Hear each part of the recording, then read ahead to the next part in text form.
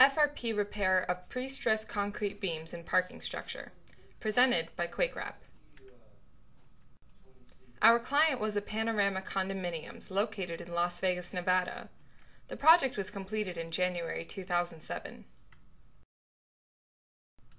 Due to a manufacturing problem, several pre-stressed beam stems had little to no concrete cover over the steel reinforcement. Therefore, corrosion of the steel reinforcement was a major concern. Also, the stems had to be repaired with minimum disturbance to the tower residents.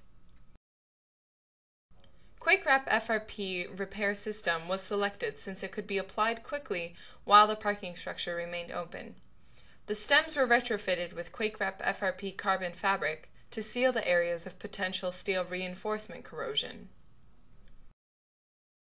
Areas where steel reinforcement was exposed and corroded, the FRP fabric provided the necessary shear reinforcement.